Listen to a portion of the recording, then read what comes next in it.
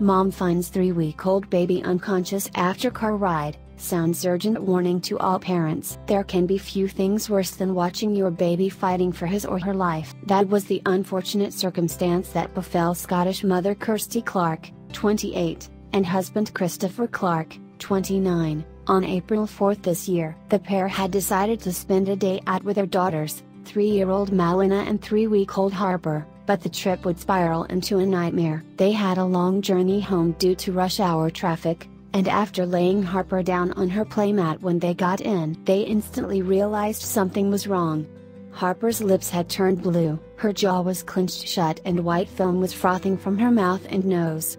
Kirsti now has a warning for every parent. April 4th should have been an idealistic family outing for Kirsti and Christopher. The pair set out at 2.30 for an afternoon of shopping with their two young daughters. At around 6.30 they set off for the drive home.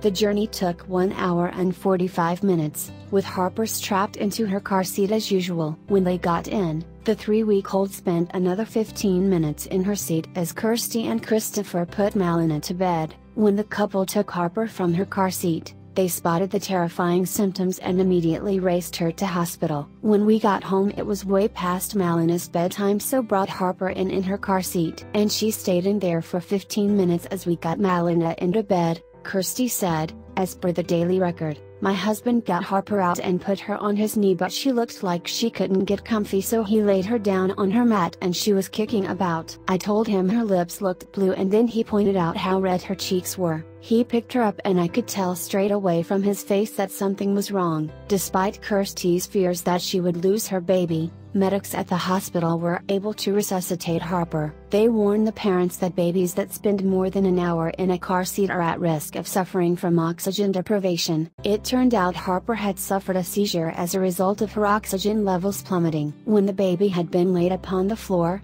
the sudden increase of oxygen caused her to fit. Now, Kirsti is doing her best to warn other parents over what she believes to be a relatively hidden danger. When the consultant told us it was the car seat I couldn't believe it.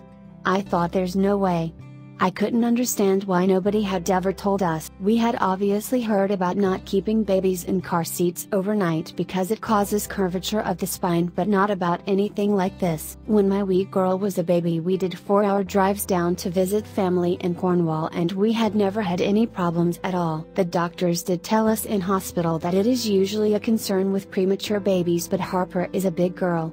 She was 8 pounds 5 ounces when she was born and she's 8 pounds 9 ounces now. After we got my head around that being the reason, Christopher and I felt so angry at ourselves. We felt like we did this to our baby.